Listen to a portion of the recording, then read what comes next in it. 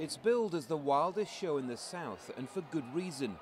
Take convict poker, an event that pits nerves against the raw power of a raging bull. The last man sitting wins cash. But these aren't trained cowboys. They're inmates at one of Louisiana's most secure prisons. Today they can be king for a day. Now the victim would say, who cares? But what's important is we got to try to rehabilitate them so if any of them get out, they don't hurt you again. And this is part of the rehabilitative program and, and part of our reentry is to do this rodeo.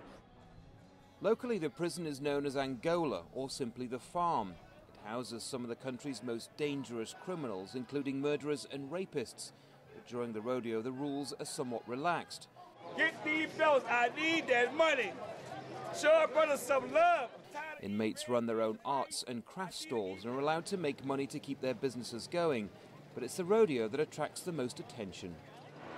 But there are those who say this is nothing short of an inhumane spectator sport. More than half the prisoners inside here are first time offenders who will never see the outside of these prison walls, and injuries are commonplace. Staff here wouldn't give us any information about just how many prisoners have been hurt over the years. They say every precaution is taken and there's little sympathy for convicted criminals. They have nothing to lose, I guess.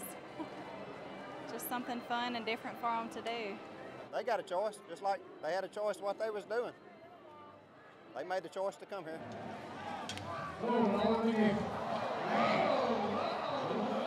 None of the prisoners are forced to take part in the rodeo. The $500 prize money for the grand finale, known as Guts and Glory, ensures participation is high. And for many, it's the highlight of a life behind bars. When I came out here, I was instantly hooked. And for me to find this was a man, truly, I thank, I thank God Jesus' name for me to come out here and find the rodeo because it's, it's been a joy for me, for my family. My family comes every year. At Angola prison, the average sentence is 95 years. Most of these men will die and be buried here. For them, this rodeo is a taste of freedom, even if it's only for a few seconds. Andy Gallagher, Al Jazeera, Angola, Louisiana.